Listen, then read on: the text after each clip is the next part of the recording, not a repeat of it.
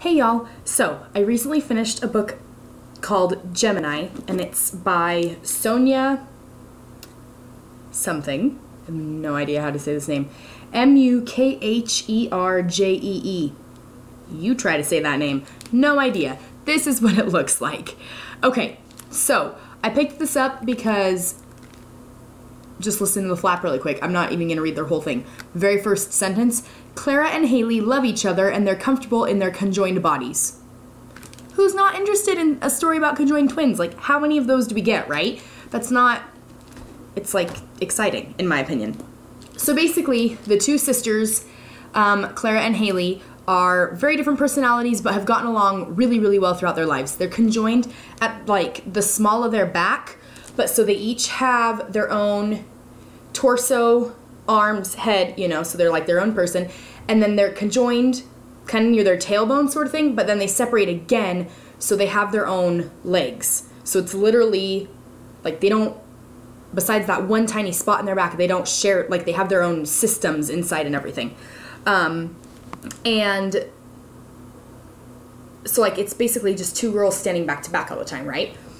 So something that I liked was that you can tell the author has done research about how this would affect nervous systems and digestive systems and she looked into conjoined twins who are successfully separated through surgery and times that are not. She had historical things about conjoined twins in here. She just really, you can tell, she looked into it, she knew what she was doing. She didn't just write this story without doing any research. So that was something that I liked. You, like, it shows effort, it was clear, it made it more believable and realistic, I guess. Um, but so basically, they are seniors in high school and they've never ever left their hometown. Their hometown is really small. Their parents relocated there when they were born when they decided to not try to do surgery to separate the twins. Um, they moved to this little town so that they could grow up in a like confined area so that there wouldn't be the shock of people seeing them all the time. So they've led a basically normal life. Obviously, they've never done things like gone skiing or ridden a bike, and they haven't traveled, but for their situation, they lead a very regular life. Um, and um, I'm trying to. Basically, the plot is kind of them figuring out what to do. There's the question of surgery, there's the question of leaving their hometown, um, the risk of being seen by the outside world. Their mother is very paranoid about media and the internet, not knowing about the twins. Um, yeah, so I don't know. It was it was good because there was typical sister and family tension um, of figuring out who you are, kind of like a coming of age story, finding your place in the world. But then of course there's this whole twist of we are conjoined, right? And it was so good. I really really liked it. Um, it was real. Like I've talked about how she did the research, so that aspect was realistic. But even like character wise, it was real. The characters weren't flat there was depth to even like the twins' friends. They had specifically one in particular. She had like some backstory and her own thing going on, so there were these interweaving little plot lines, I guess you could say. Like there's the overriding plot and then the subplots, and they wove together very, very well. That's what I'm trying to say, is how well they wove together.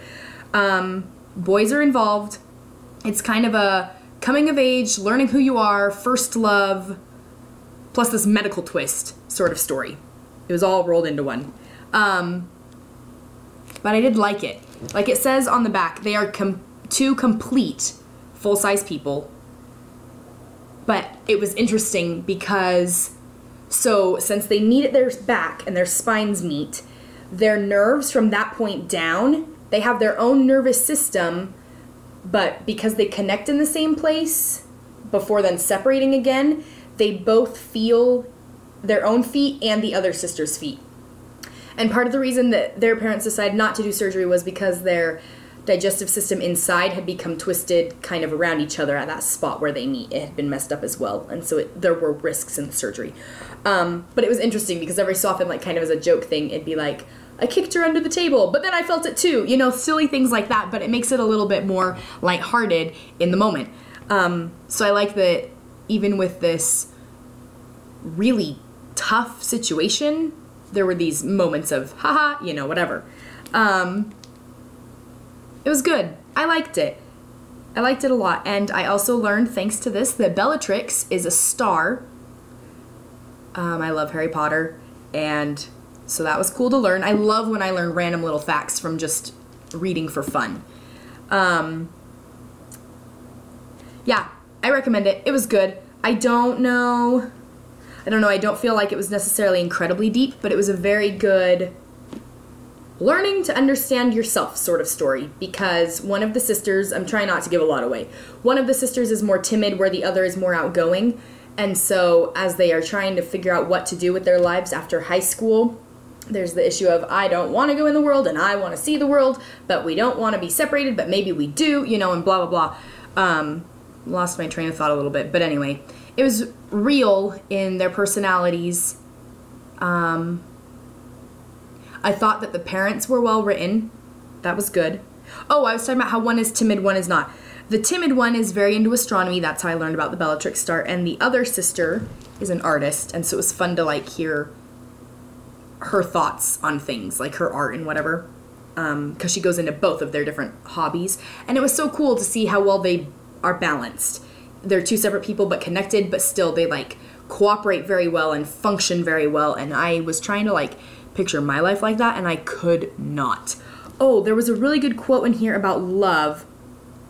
I'm probably not going to be able to find it, but it was talking about how love is finding someone in the world who loves you for you and truly wants to like be there, and you need them as like your support system, sort of thing. And it was talking about different ways of loving, which is something I've been thinking about for a long time.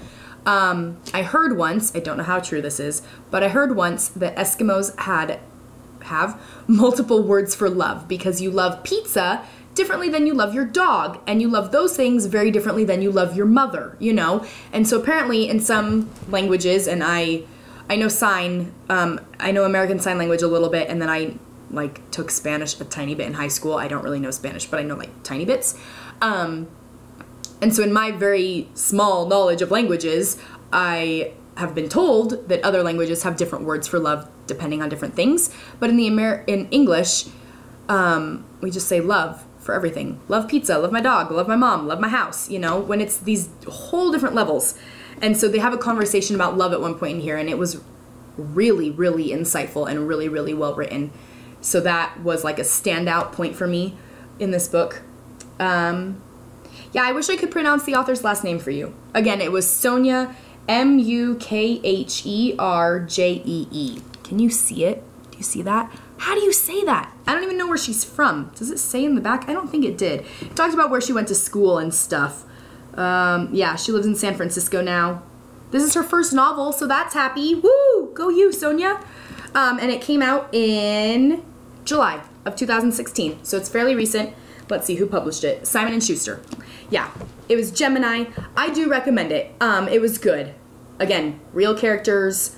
Obviously, not a common situation of being connected to your twin, but it was the coming of age and finding yourself sort of storyline. So it was really good, and I do recommend it. Keep reading.